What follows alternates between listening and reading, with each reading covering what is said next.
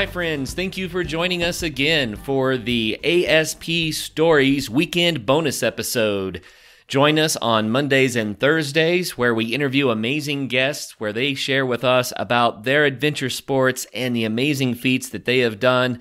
But ASP Stories is where we get to listen in as authors read their adventure stories to us. So sit back with your hot cup of tea or coffee and kick off your adventure filled weekend by listening in while we hear more from ASP Stories.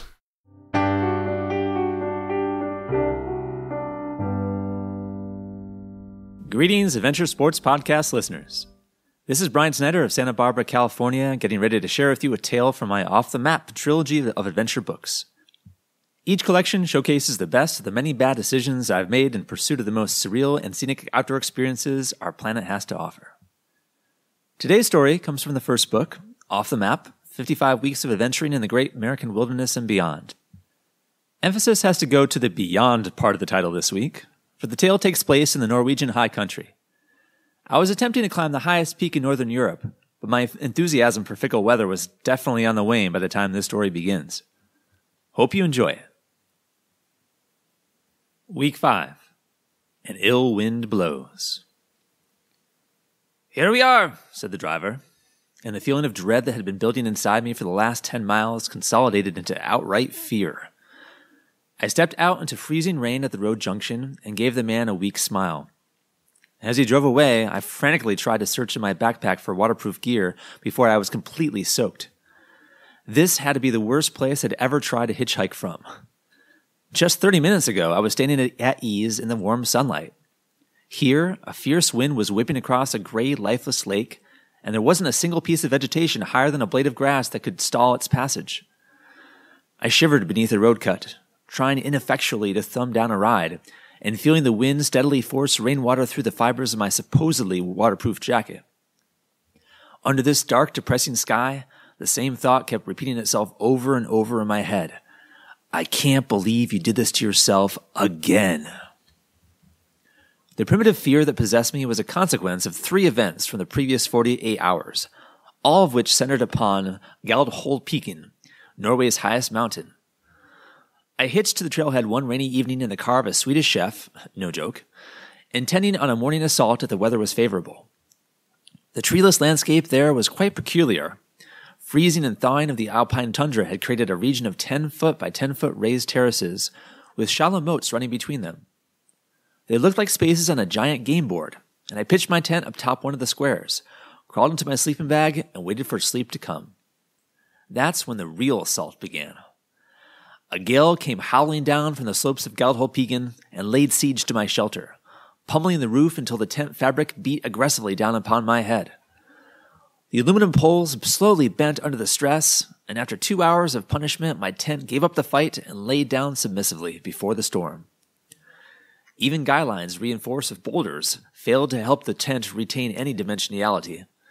I ended up wrapped like a burrito inside nylon fabric, I was unable to sleep until the storm subsided at 6 a.m., despite wearing earplugs. At least it didn't rain. Galdhøpiggen was still shrouded by clouds the next day, but I was determined not to spend another night at this elevation, so I set off regardless. Climbing Norway's highest mountain involves crossing the Styggebreen Dangerous Glacier. Dangerous because of the deep cracks that develop in its surface and become covered by snow in wintertime. A trailhead sign warns under sufficient weight, the snow bridges collapse and you fall into the crevasses. If you are not secured by a rope, you will fall until your head gets stuck between the ice walls 50 to 20 meters down in the crevasse. And if that isn't enough, some survive such falls, but not for very long, for cold water runs down the walls and you will freeze to death quickly without help.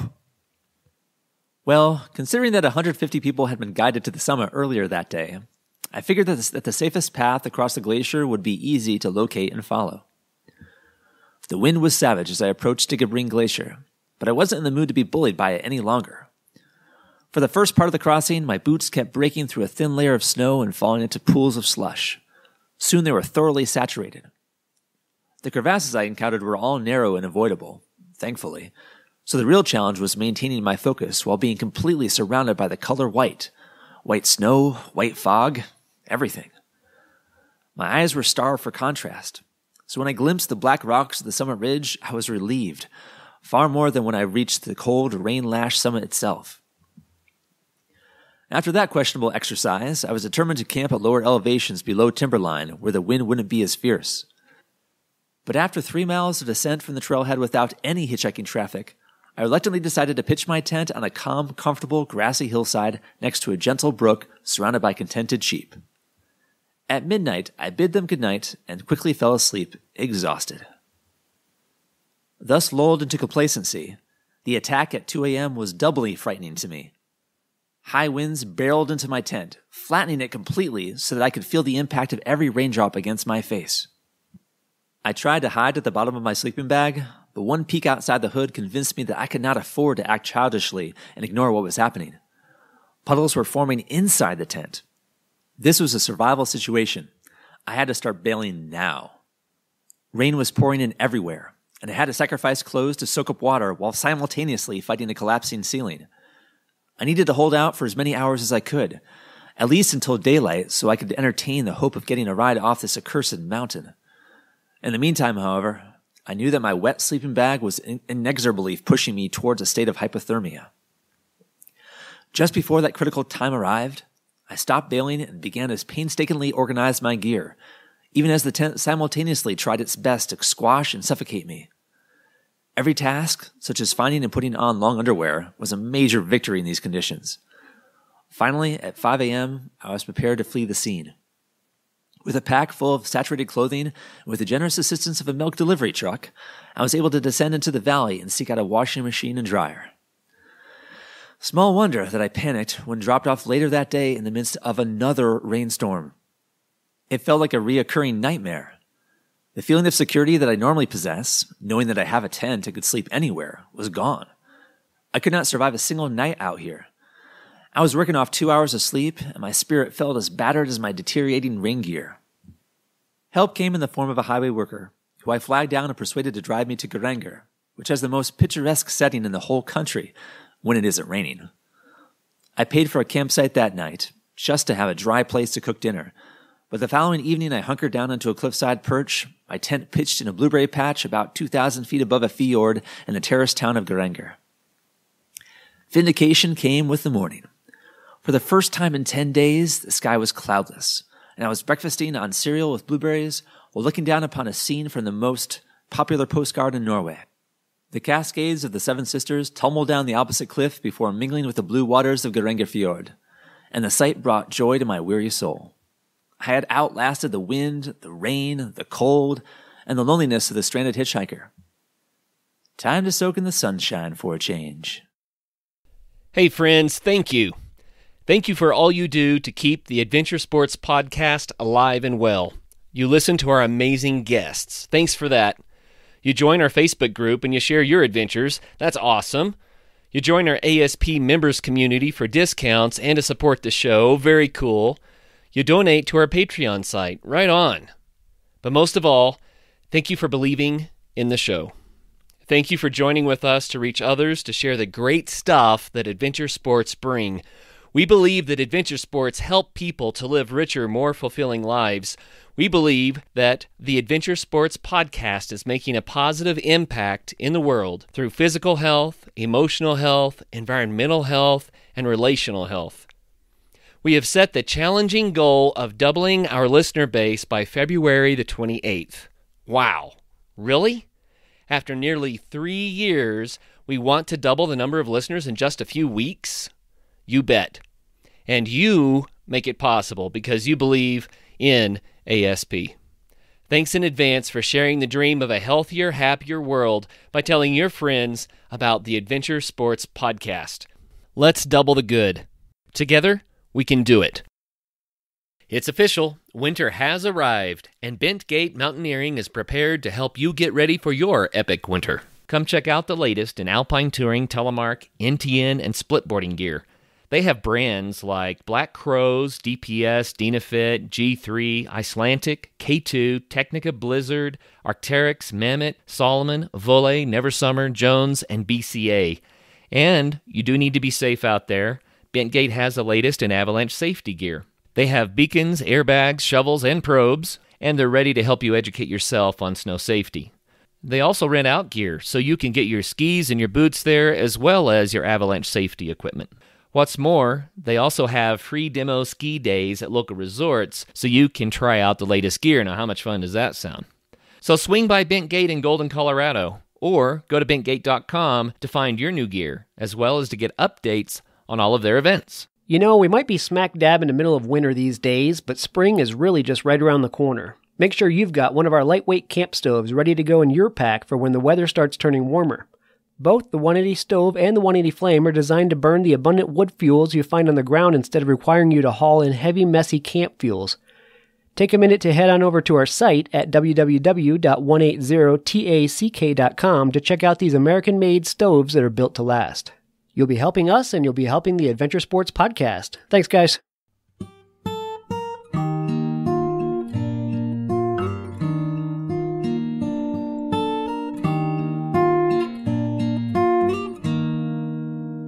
Well, looks like we have time for another story this week, so let's jump back to the United States, head over to Wyoming, and check out what's going on in a chapter called Week 9 Head in the Clouds.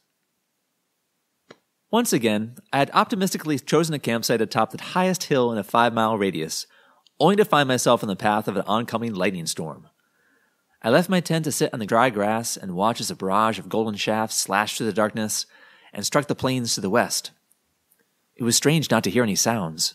No thunder, just the distant yapping and howling of coyotes down in the valley. There was still time to indulge in the thrill of impending danger before the storm arrived and I had to face the consequences of my foolishness. I don't know why I ignore common sense and foolishly gravitate towards these sort of places. It just happens, with great frequency. For example, earlier today I knew I might need to rest an extra day to allow my sore knee to recuperate, so I chose a site in the Bighorn Mountains with a panoramic view. Perhaps like most wild animals, I instinctually feel comfortable when I can survey my surroundings from a high vantage point. If this is true, it might explain my lifelong compulsion to climb trees.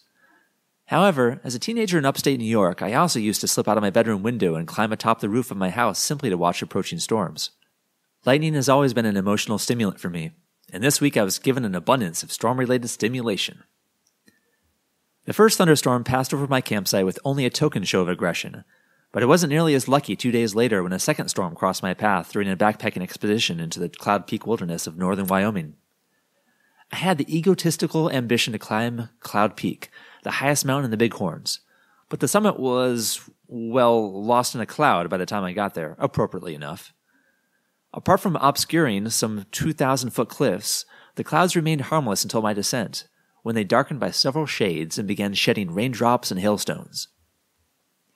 I had left my warmest clothes back in my tent and was woefully unprepared for the change in the weather. My wet windbreaker clung to my skin and allowed the cold to penetrate deep into my bones. Abandoning plans to spend a second night in the wilderness, I did what I could to keep my blood circulating until I could pack up the tent and return to the trailhead. Snow fell in the higher elevations that evening, which proves that in the Rockies it's best to be prepared for anything, even in the height of summer.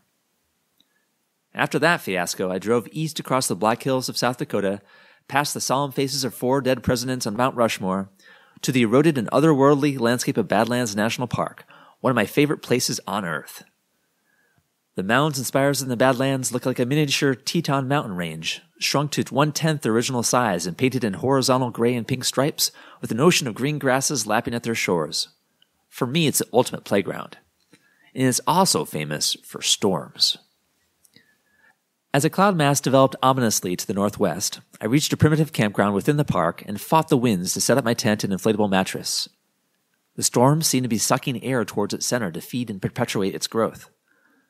Eager as a five year old, I couldn't wait to finish my dinner so that I could run up the nearest hill and get a better view of the lightning that had begun to flicker horizontally through the lower cloud layers.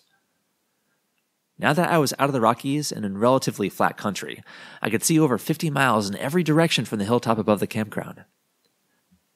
The storm to the northwest had grown to about the size of New York City, and its leading edges were visibly expanding, billowing outwards and reaching overhead to claim the last remaining stretches of open sky. I was in awe of its magnitude and power, and almost giddy with the thrill of adrenaline tinged vulnerability. Cascading and fragmenting bolts of thin purple lightning shot laterally across the firmament, as complex as lattice work, while in the distance, larger bolts discharged their energy straight into the earth with thunderous impact, sending shockwaves reverberating across the plains. Storms have an actual human like face if your imagination is powerful and you're bold enough to try staring one down until its countenance appears.